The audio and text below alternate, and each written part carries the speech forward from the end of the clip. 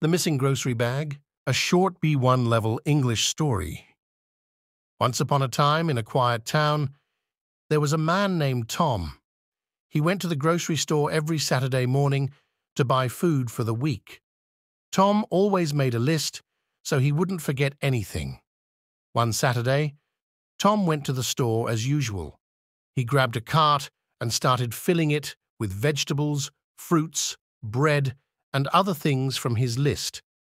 But when he got to the checkout, he realized he had left his wallet at home. Feeling embarrassed, Tom apologized to the cashier and rushed back home to get his wallet. He left his groceries at the checkout and promised to return quickly. But when he came back to the store, his groceries were gone. Tom searched the store aisle by aisle, hoping to find his missing bag of groceries. He asked the store employees if they had seen it, but no one had. Tom felt frustrated and worried about what to do next. He decided to retrace his steps, thinking he might have left the bag somewhere else.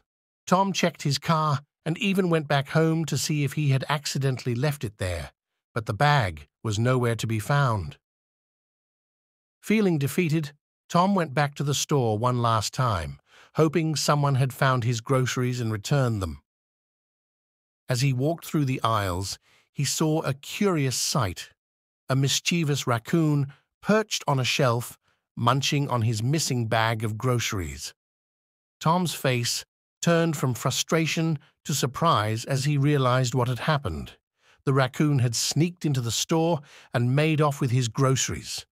Chuckling at the unexpected turn of events, Tom gently shooed the raccoon away and retrieved his bag.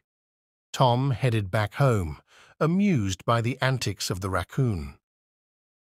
From that day on, he made sure to keep a closer eye on his groceries, knowing that even the smallest creatures could cause the biggest surprises.